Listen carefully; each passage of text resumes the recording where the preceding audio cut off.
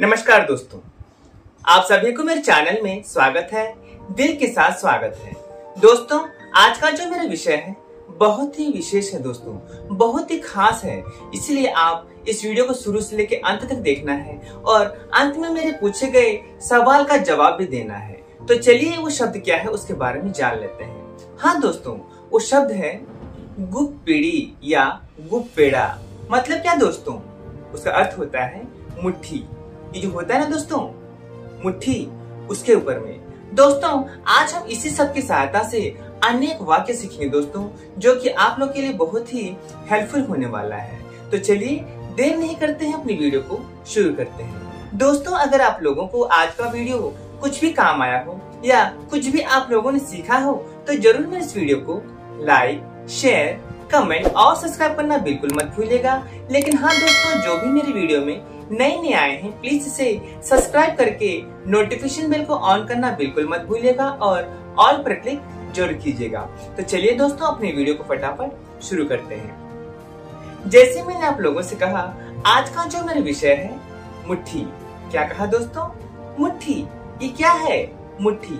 इसे हम तेलुगु में क्या बोलते हैं? गुप पीढ़ी या गुप पेड़ा दोनों समान ही है दोस्तों।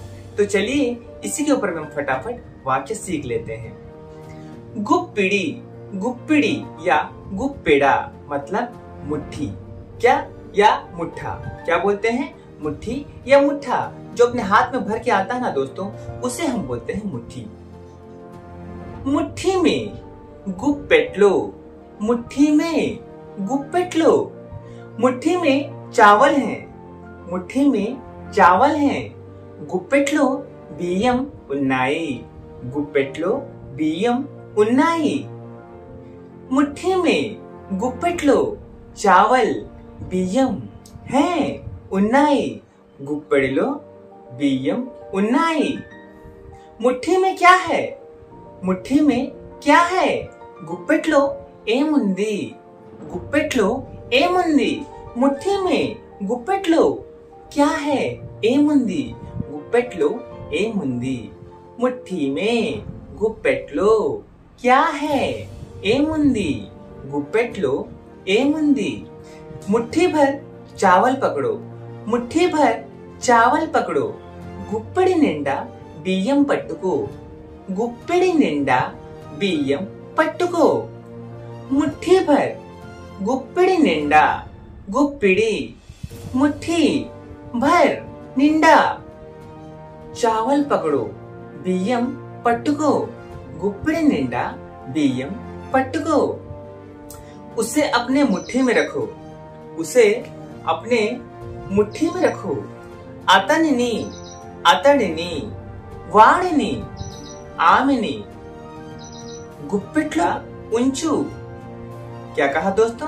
देखिए ना, उसे उसे उसे जो शब्द मैंने चुना है, वहाँ पे स्त्रीलिंग हो सकता है, पुलिंग हो सकता है। मतलब हमें इतना तो मालूम चल ही गया है कि हम किसी छोटे के बारे में बोल रहे हो या अपने जो बराबर उम्र के होते हैं, उनके बारे में बोल रहे हो। समझ लेना दोस्तों? मैंने क्या कहा? उसे मुट्ठी में रखो। मैंने उसे ये जो शब्द प्रयोग किया है, तेलुगु भाषा में कितने शब्दों का उपयोग किया है दोस्तों? अतड़नी वाड़िनी अतनिनी आमिनी दानी पाँच शब्द दोस्तों देख लेना दोस्तों इन पाँचों शब्दों को आप चुन सकते हैं लेकिन आमिनी और दानी क्या दोस्तों आमिनी और दानी ये दोनों होता है स्त्रीलिंग और वाड़ू अतड़ू अतनु ये जो शब्द होते हैं ना दोस्तों पुलिंग होते हैं मतलब कोई लड़का हो या जो हमसे उम्र में छोटा होता हो उसके बारे में हम बोलते हैं अगर किसी को मुट्ठी में रखना हो, किसी को अपने काबू में रखना हो तो हम इशारों के साथ भी बोलते हैं और सीक्रेटली भी बोलते हैं। उसे मुट्ठी में रखो। अतनेनी या आमेनी, गुप्पेटलो, उंचू। उसे अतनिनी वाड़िनी अतनिनी आमिनी, दानी, गुप्पेटलो, मुट्ठी में रखो। उंचू, उसे मुट्ठी में रखो। उसे मुट्ठी में रखना बहुत मुश्किल है। उसे मुट्ठी में रखना बहुत मुश्किल है। अतनिनी वाड़िनी अतड़नी आमिनी, दाननी, मुट्ठी में रखना बहुत मुश्किल है। चाला कष्टम उसे मुट्ठी में रखना बड़ा मुश्किल है। दोस्तों, यहाँ पे तो मैंने पाँच प्रकार के जो शब्द होते हैं, उसे, उसके जो प्रयोग किया है, आप उसमें से किसी एक शब्द को भी चुन सकते हैं। मतलब लिंग की पहचान होनी बहुत ज़रूरी है दोस्तों। पुलिंग होगा अगर हमसे छोटे होंगे या हमारे दोस्त होंगे, जो भी हो, अगर इसको मुट्ठी में रखना हो, उसे काबू में रखना हो, फीमेल होंगे तो हम बोलेंगे आमिनी। आमिनी, ये जो शब्द होता है ना दोस्तों, बहुत ही रेस्पेक्टफुल होता है, छोटे जो होते हैं। दानी दानी मतलब थोड़ा रेस्पेक्ट कम रहता है दोस्तों। हाँ हो सकता है हमारी जो कोई सहेली होंगी, जो लड़कियाँ होती होंगी सहेली, उसे हम दानी बोल सकते हैं। या हमारी जो छोटी बहन होती है, वहाँ भी हम वहाँ पे दानी, ये शब्द का भी प्रयोग कर सकते हैं। तो मैंने क्या कहा दोस्तों? उसे मुट्ठी में रखना बहुत मुश्किल है। उसे मुट्ठी में रखना बहुत मुश्किल है। आता नहीं गुप्पेटम चला उचम या कष्ट बहुत मुश्किल है. उसे आमिनी या अतड़नी या अतनिनी मुट्ठी में रखना गुप्पेट उचम या गुप्पेट उचुकोव बहुत मुश्किल है.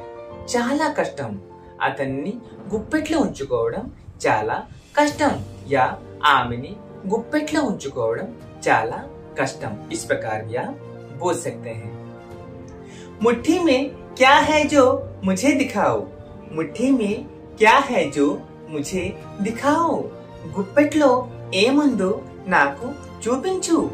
గుప్పెట్లో, యా, గుప్పెడిలో ఏముందో नाकु चूपिंचु मुट्ठी में గుప్పెట్లో క్యా హే జో ఏముందో క్యా హే జో ఏముందో ముచే దిఖావ్ ముచే దిఖావ్ నాకు చూపించు నాకు చూపించు గుప్పెట్లో ఏముందో నాకు చూపించు ముఠ్ఠీ మే కుచ్ నహీ హే ముఠ్ఠీ మే కుచ్ నహీ హే గుప్పెట్లో ఏమీ లేదు గుప్పెట్లో ఏమీ లేదు मुट्ठी में गुप्पेटलो कुछ भी नहीं है कुछ भी ఏమీ नहीं है లేదు గుప్పెట్లో ఏమీ లేదు अगर मुट्ठी में ज्यादा कुछ क्वांटिटी के होते होंगे तो हम पूछेंगे आपके मुट्ठी में क्या है तो क्या बोलेंगे మీ గుప్పెట్లో